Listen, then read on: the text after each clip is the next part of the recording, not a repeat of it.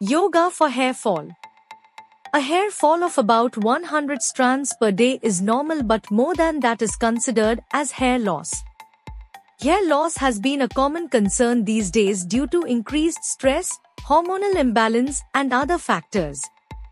Doing yoga is one of the natural way to reduce the hair fall as it works by balancing the hormones in the body, reducing the stress and also improving the blood flow in every part of the body, which ultimately leads to new hair growth.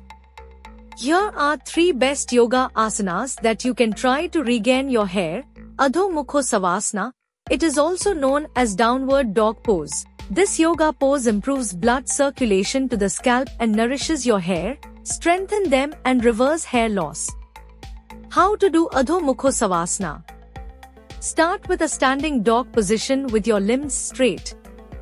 Now push your hips out and pull your stomach inward, and stretch your neck inwards and press on the ground with your palms. Stay in this position for few breaths. Uttanasana, it is also known as standing forward pose. It also increases the blood circulation to the scalp and whole body promoting new hair growth. How to do Uttanasana? Stand with your feet a few inches apart and stretch your hand upward in a mountain pose. Breathe in while stretching the spine and breathe out while trying to touch the ground with hands by bending the upper body forward. Remain in this position for few breaths. Kapalbhati. It is considered as the best yoga pose for hair growth. It enhances your endocrine system, immune system keeping the hormones in balance and reduce stress, which promotes hair growth by stopping the hair fall. How to do Kapalbhati?